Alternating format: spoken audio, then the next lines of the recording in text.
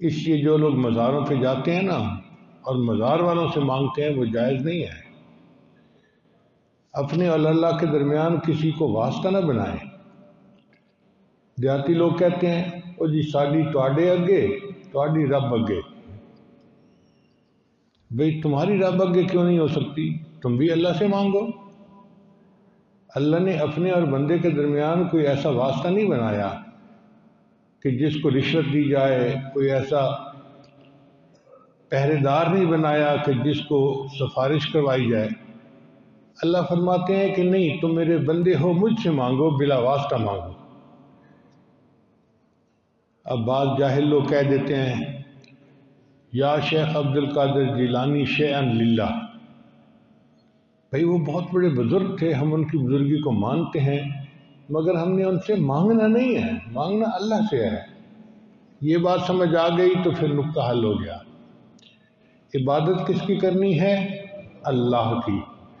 किसी के सामने सर नहीं झुकाना।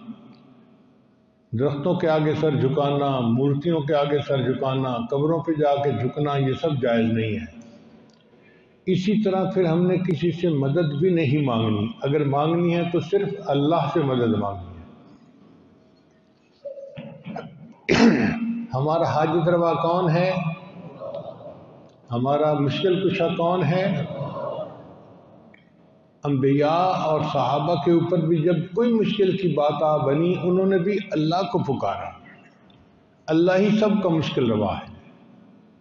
अब लोग कहते हैं जी कि अली मुश्किल कुशा शिरक सीधी सीधी बात है। मुश्किल कुशा अल्लाह है। हज़रत अली नाना पे जब मुश्किल बनती थी तो वो अल्लाह को पुकारते थे। तो हमें भी अल्लाह को पुकारना है। तो ईया का नबूदू व ईया का नस्ताइन अल्लाह हम तेरी ही इबादत करते हैं और तुझसे ही मदद मांगते हैं। चुनाचे मूसा इस्लाम ने अपनी कौम को यही सबक दिया। कुरान मजीद में है कि मूसा ने फरमाया, कौल मूसा कौम हिस्टाइन बिल्ला वसबिरू। इस्तानत, मदद मांगना। कि मूसा इस्लाम ने अपनी कौम को कहा कि मेरी कौम, अल्लाह से मदद मांगो और सब्र करो।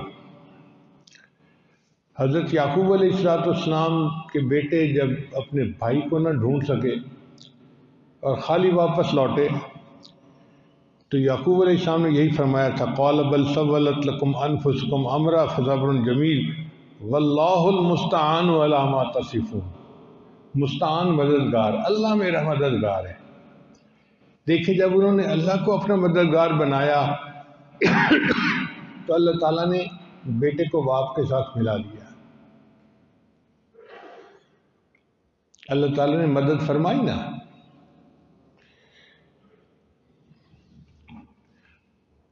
तो ये एक बात ध्यान में बिठा लीजिए कि मदद किससे मांगनी है? अल्लाह से मांगनी है।